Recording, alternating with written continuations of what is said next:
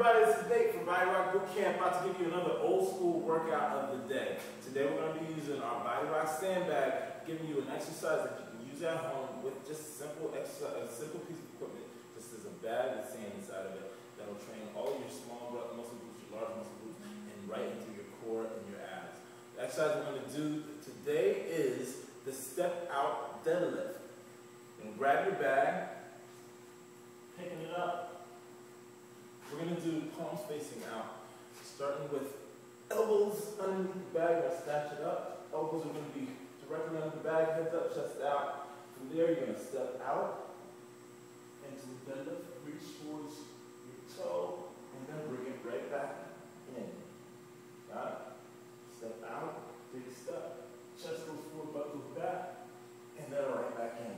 Every time you pull that bag up, you pull through your shoulders and through your low abs. Good.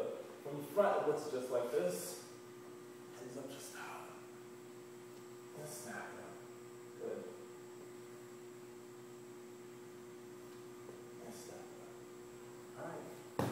That's all I have to say about that. Fire it up. Booyah.